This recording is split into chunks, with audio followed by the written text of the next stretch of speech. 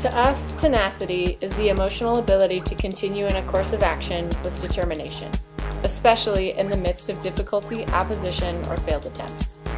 A girl who is tenacious fails, picks herself up, and fails again. She finds opportunities in her failures, knowing that it is all part of the progression.